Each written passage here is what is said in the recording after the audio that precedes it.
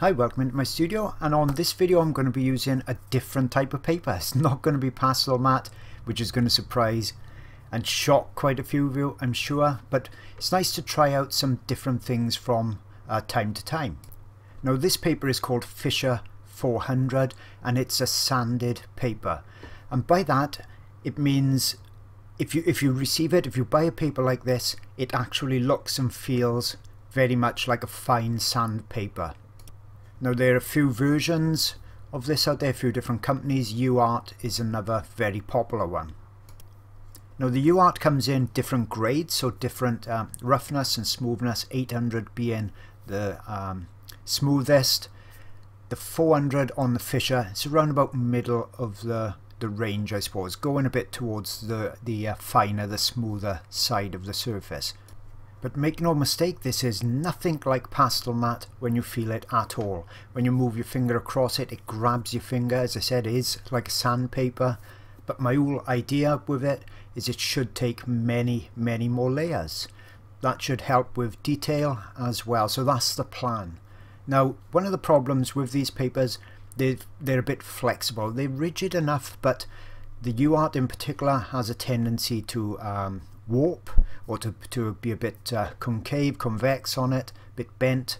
And uh, the Fisher can do the same as well. And don't forget Pastelmat as well can, uh, can actually bend a little bit. So it's nice to keep it flat and firm.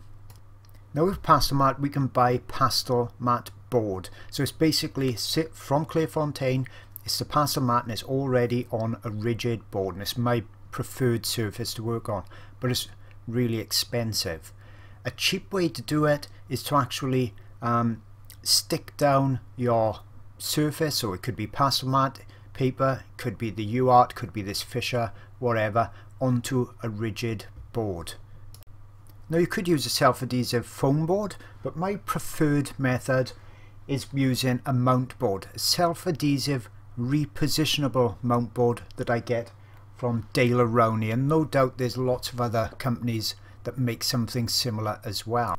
Now the fact it's repositionable means if we misalign it a little bit we can actually peel it back off and put it back on there and it's also specifically made for being against artwork so it's pH neutral as well. So let's see how I stick it down onto this Fisher 400 paper. So on top that's the Fisher 400 paper the writing's obviously on the back side and there's that Daler mount board underneath. On top you can see that's my pastel box. It's heavy and it's a straight edge. That means I can put the two papers up against each other and I know they're going to be in line. So it's easy to peel this top surface, this release paper, back from the Daler mount board. So the sticky side is there and I'm only pulling it back just a small amount for the moment.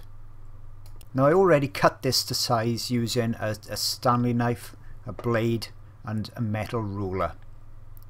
So I've just butted it up against my wooden board but any straight edge that's not going to move will work just fine. Then I can put the Fisher 400 right up against it and I know it's in line and I'm just pushing down not too hard on that top surface.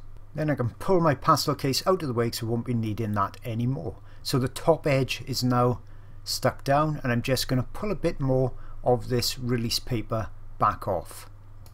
Now I could have pulled it all off in one go but I rather do it a little bit at a time so I can gradually press down on the paper. Now because this is sandpaper it's very difficult to smooth out. With Pastelmat it's super easy to do this. And that's what I've been doing to the last couple of uh, drawings I've done. If I haven't used Pastelmat board I've been putting this backing board on there makes it lovely and rigid. And as I said we could reposition it and remove the drawing from there if we wanted to. But it's perfect for the framer to actually mount your artwork like this. And I'm just bringing it down to the edge. I'll smooth it out. Then I'll trim that edge off. If you're looking for even more great art sources I've really got you covered first off I've got a Patreon channel. It's been going well over a year or so packed with around about 50 or more videos and new ones every month. Lots of the videos are uh, many hours long, so you can see they're really, really in-depth. Subjects such as um, turtles, birds, elephants, big cats, you name it, it's on there. So that's my Patreon channel.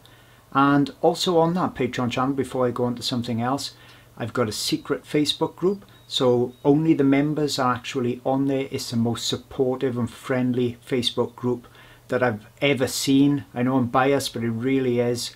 We've got uh, four or five hundred members on there and they all help each other. So that's a great added bonus. That comes free with it.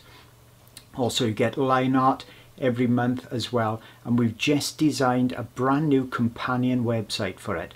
So if you've joined other patrons and uh, channels and you found it very, very difficult to navigate around, we got this free website that comes with it.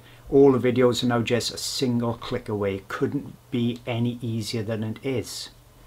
I've also got my site jasonmorgan.co.uk lots of tutorial videos DVD discs and downloads on there and if you're struggling for reference photos for your art projects, I've got some of those too. I've got 900 plus on my website, wildlifeart-online.com, and they will be copyright free for you so you can paint and draw from them and sell your work with no copyright worries whatsoever. So hope you like those extra resources and I'll see you all again real soon.